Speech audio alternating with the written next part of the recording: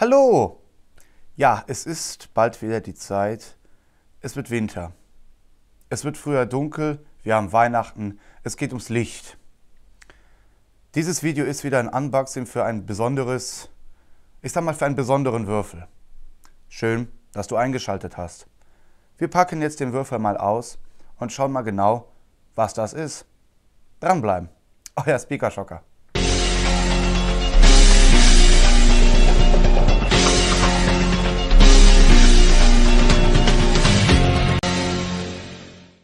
Ja, so sieht das Paket dann aus. Keine Sorge, es ist, äh, sieht wuchtiger aus, als es ist. Wir kommen hier gerade mal auf 4 Kilogramm Gewicht. Und jetzt mache ich hier vorsichtig das Paket mal auf. Ja,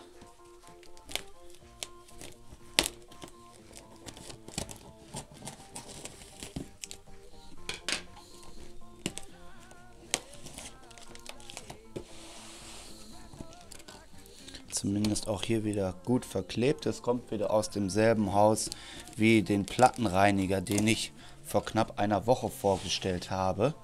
Und da bin ich immer noch sehr begeistert von.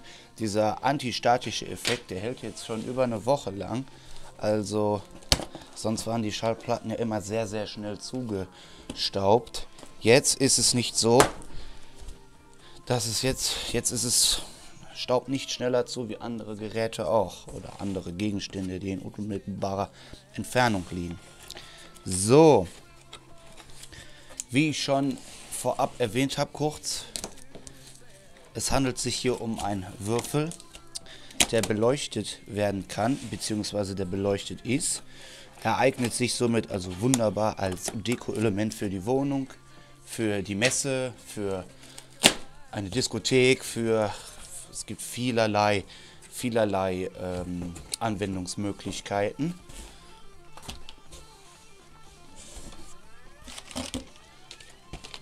Das Besondere daran ist, man kann ihn mit einer Fernbedienung bedienen und wenn man keine Lust auf eine zusätzliche Fernbedienung hat, ist das kein Problem.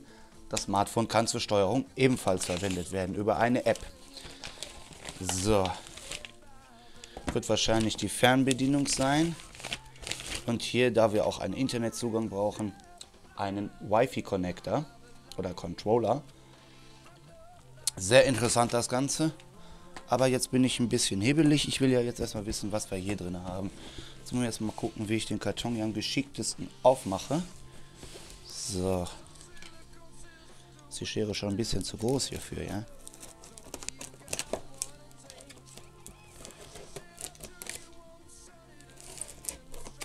So.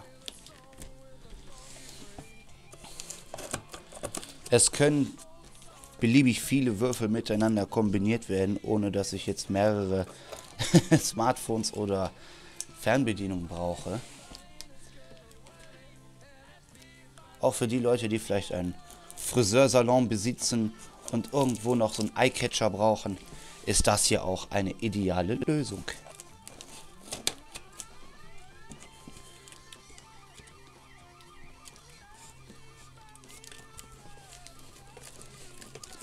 Meine Güte, das ist hier aber...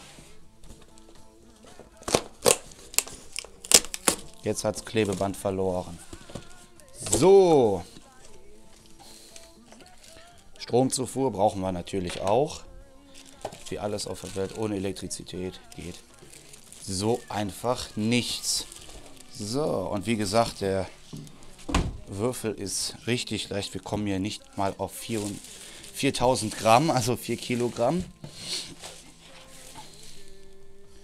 Und da steht er auch schon. Sieht ja jetzt schon mal gar nicht schlecht aus. Aus Kunststoff ist das Ganze ausgeführt. Die Elektronik verbirgt sich im unteren Teil des äh, Würfels. Hier sieht man, ja, sieht man, hier so Füße hat er auch, damit er vernünftig auf dem Boden, auf dem Teppich oder auch auf dem Tisch stehen kann. Ja, und jetzt würde ich vorschlagen, wir verbinden den ganzen Würfel jetzt einfach mal mit dem beigelegten Adapter hier. Kaum mit dem Strom verbunden, schon liegt das Auge bei dem Würfel. Direkt fängt der Würfel hier an, uns hier eine schöne farbenfrohe ähm, Lichtwelt zu präsentieren. Keine Sorge, die Änderung der Farbe, die Geschwindigkeit lässt sich alles noch regeln. Zum Beispiel hier mit dieser Fernbedienung hier, die wir jetzt auch mal auspacken werden.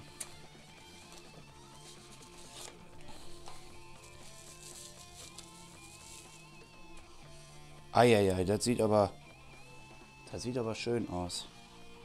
Jetzt weiß ich nur nicht, ob Batterien schon im Gerät drin sind. Sind sie nicht, sind wahrscheinlich noch verpackt. Sieht, sieht gut aus. Keine lästigen Knöpfe, wo sich Staub drin reinsetzt. Sieht sehr gut aus. Hier haben wir jetzt den Wi-Fi-Controller oder Wi-Fi-Connector. Zu verbinden wir das Gerät jetzt einmal ganz gewohnt via USB mit dem Computer.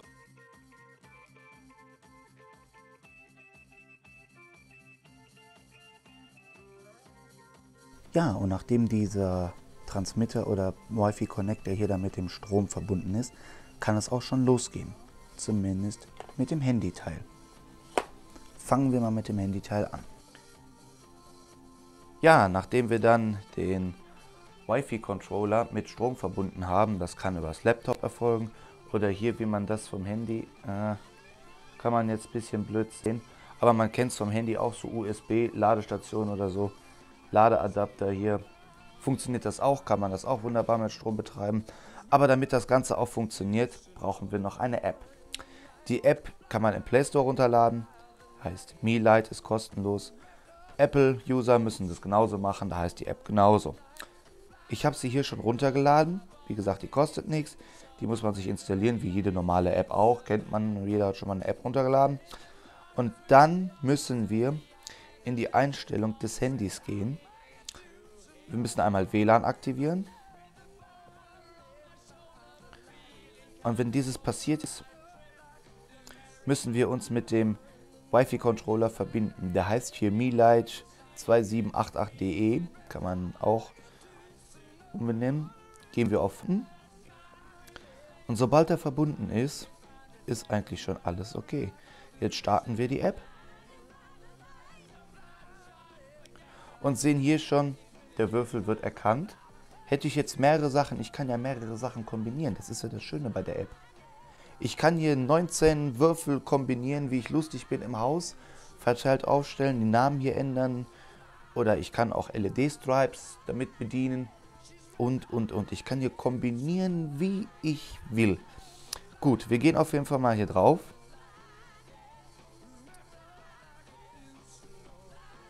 So. Und jetzt ist wichtig, hier werden wir jetzt hier konfrontiert mit unterschiedlichen Fernbedienungsdesigns hier auf dem Display.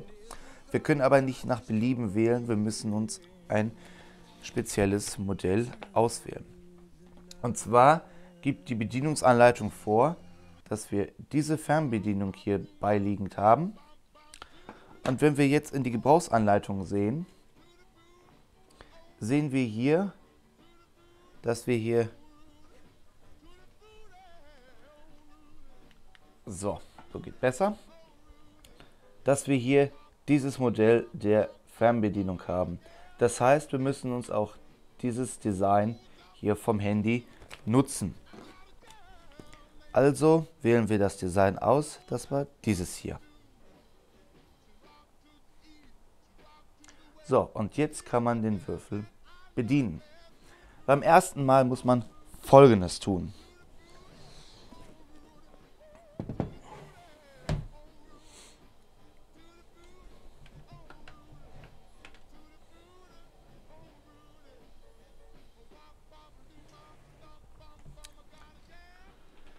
Wir müssen das Gerät einschalten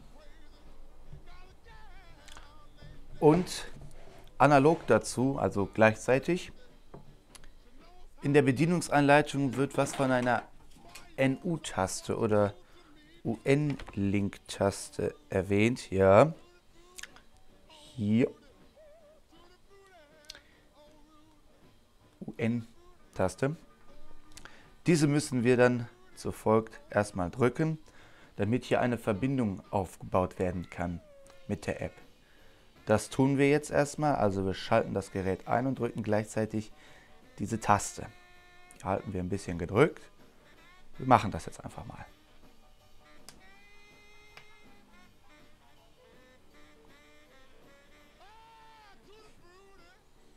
Und jetzt kann ich hier, wie man sieht, mit der App hier wunderbar den Würfel hier steuern.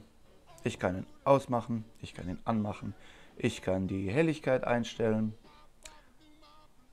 Ich kann hier den Lichtmodus auswählen, den ich hier haben möchte, den der Würfel wiedergeben soll. Hier ein gemütlicher Farbwechsel, da kann ich hier jetzt auch die Geschwindigkeit einstellen, entweder langsamer oder schneller. Ich kann hier andere Modis auswählen.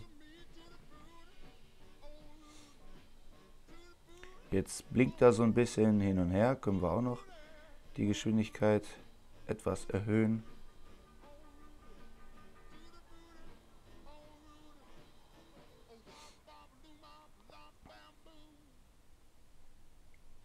Die ganzen unterschiedlichen Lichtmodi lasse ich gleich im Video einmal durchlaufen. Und jetzt ähm, schauen wir uns das Ganze einfach mal an, wie das mit der Fernbedienung funktioniert. Die Fernbedienung bedarf hier zwei Batterien des Typs AAA.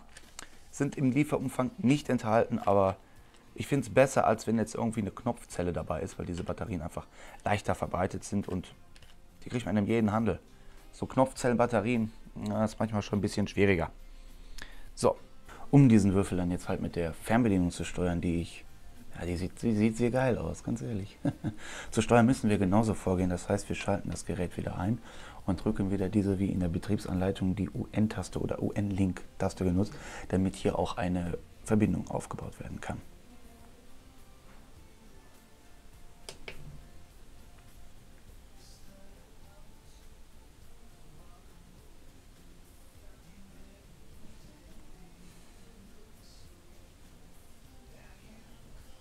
So, und wie wir gesehen haben, funktioniert das hier wunderbar. Also auch hier wieder einschalten und dann diese Taste hier drücken. Und hier können wir jetzt hier wunderbar hier 265 Farben stufenlos regeln. Ich finde hier mit der Fernbedienung macht das Ganze sogar noch ein bisschen mehr Spaß als mit dem Handy äh, das zu steuern. Weil, ha, toll. Und vor allem, das ist jetzt auch egal, in welche Richtung ich die Fernbedienung halte, reagiert. Es ist nicht so, dass jetzt hier unbedingt mit der Fernbedienung, dass man hier unbedingt auf dem Würfel halten muss. Nein, das funktioniert auch so. Und auch hier können wir uns wieder einen äh, Modus auswählen, wie der Würfel hier leuchten soll. Ja, das, die Geschwindigkeit können wir einstellen.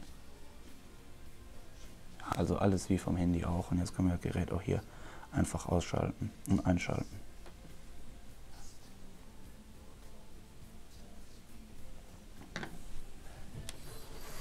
Wunderbar. Jetzt hier lasse ich den Würfel einfach nochmal ein bisschen an Strom, damit der Akku hier drin aufgeladen werden kann.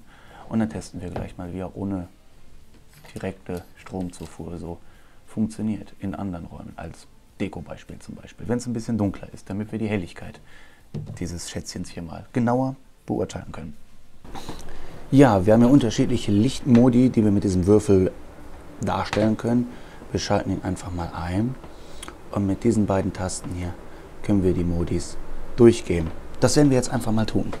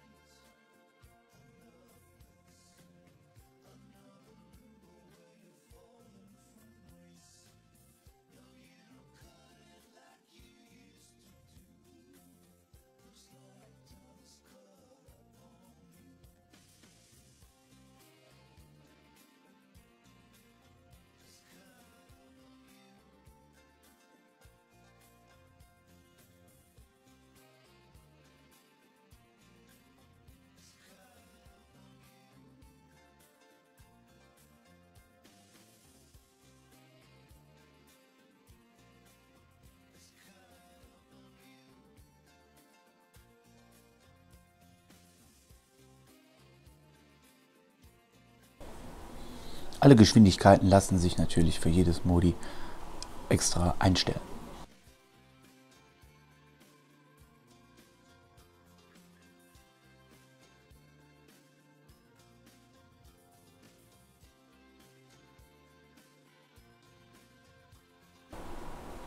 Es gibt doch einen Modus, dass alles einmal komplett durchläuft.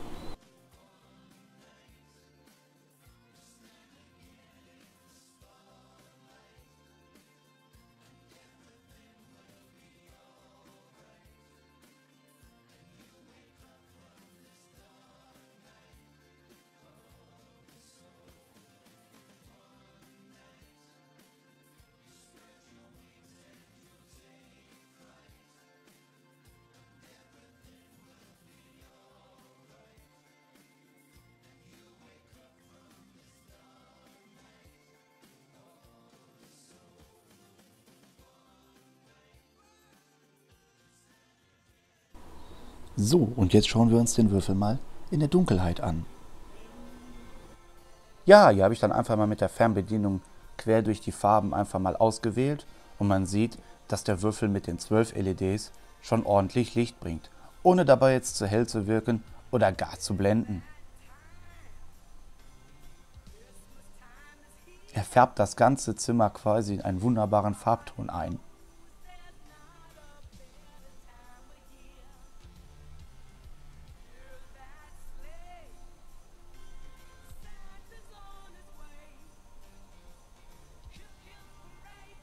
Auch im Eingangsbereich einer Wohnung würde der Würfel sich sicher sehr gut machen.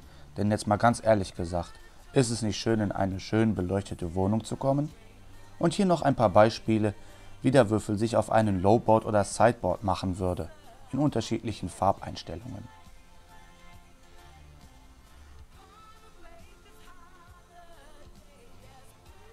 Auch direkt auf dem Fußboden macht der Würfel eine gute Figur.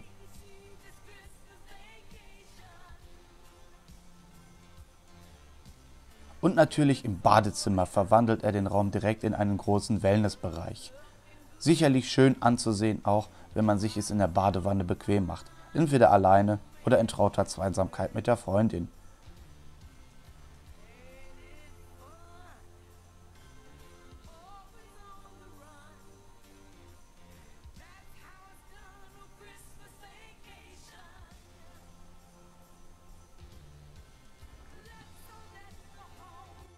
Ja, und das waren nur ein paar Beispiele, wie man den Würfel effizient und wirklich nett einsetzen kann.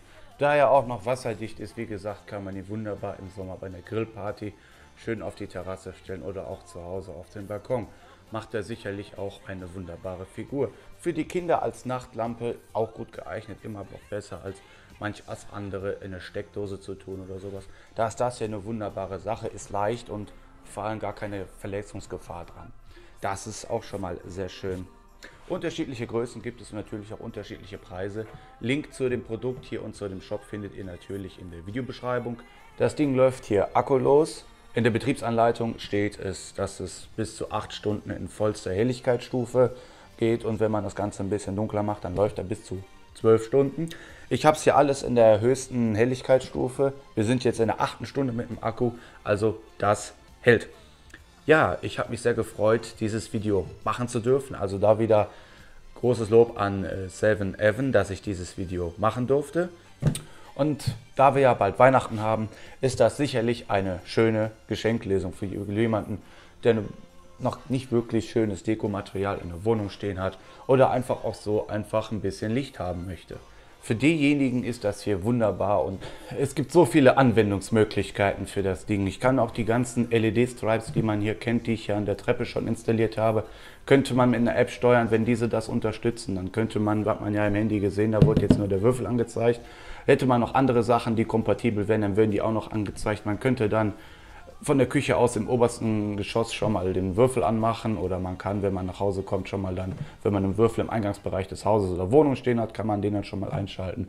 Und je nach Belieben und natürlich im Garten kann man auch beliebig viele verteilen. Läuft ja hier über Akku, ist alles gar kein Problem.